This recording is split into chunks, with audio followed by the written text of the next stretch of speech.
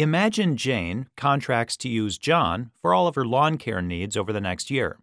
When Jane's neighbor, also in the lawn care business, learns of the contract, he offers Jane a better rate and convinces her to break her contract with John and use him instead.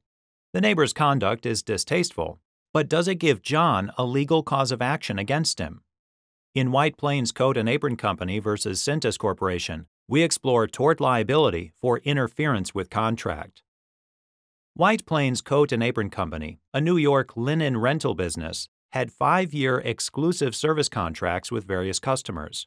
Cintas Corporation, a nationwide business that also rented linens, enticed many of those customers to do business with Cintas during the exclusivity periods, causing the customers to breach their contracts.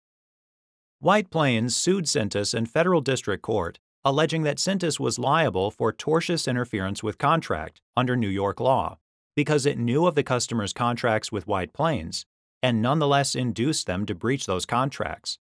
Cintas moved for summary judgment, arguing that it wasn't aware of the customer's contracts.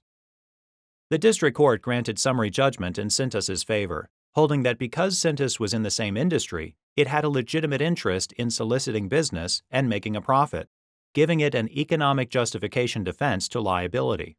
White Plains appealed to the Second Circuit, which concluded there was an open question as to whether, under New York law, a generalized economic interest in soliciting business for profit was a defense to tortious interference with contract.